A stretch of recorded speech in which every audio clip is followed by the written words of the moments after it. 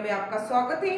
मैं प्रिया, आपके साथ। जम्मू कश्मीर के राजौरी में जान गंवाने वाले शहीदों की पार्थिव देह शुक्रवार को उनके घर रवाना हो गई। इस बीच उनके परिवारों से कुछ मार्मिक तस्वीरें और किस्से सामने आए हैं। आगरा के कैप्टन शुभम गुप्ता के घर यूपी के कैबिनेट मंत्री योगेंद्र उपाध्याय पहुँचे।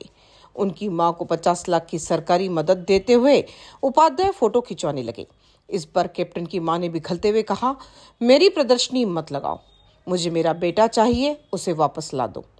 हालाँकि इस पर मंत्री जी के लिए फ़ोटो खिंचाना ही प्राथमिकता में रहा और वे शहीद कैप्टन की माँ के आगे बार बार चेक ले जाते हुए फ़ोटो खिंचवाने में व्यस्त रहे।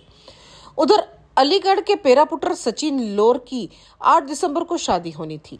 बारात मथुरा जानी थी और परिवार में इसकी तैयारियाँ चल रही थी।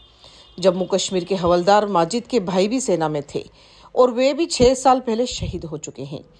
राजौरी में धर्मसाल के बाजीमल में बाईस तेईस नवंबर को ही मुठभेड़ में सेना के दो अफसरों समेत पाँच जवान शहीद हो गए थे।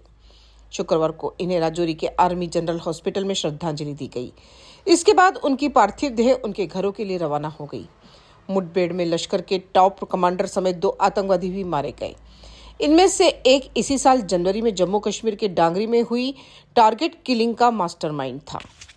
इसी के साथ बने रहिए एशिया न्यूज़ इंडिया के साथ। धन्यवाद।